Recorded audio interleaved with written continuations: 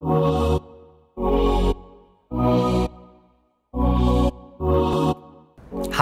my name is Maharan.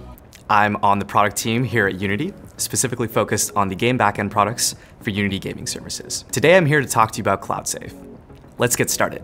With so many apps working across multiple devices, you never know if a player will be logging in from their mobile, laptop, or tablet to play.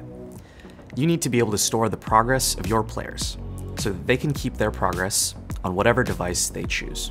CloudSave allows you to track and store player data like progression, abilities, and statistics to the cloud, enabling cross-device accounts for your players. It also improves your game security by storing game data on the server rather than on client devices. CloudSave can store any kind of player-specific data from your game, like data that is tied to a specific player and doesn't need to be searched for or updated by other players. The saved data exists on Unity servers and is accessible from the Unity dashboard. You can retrieve the data on any device so your game can support cross-platform play.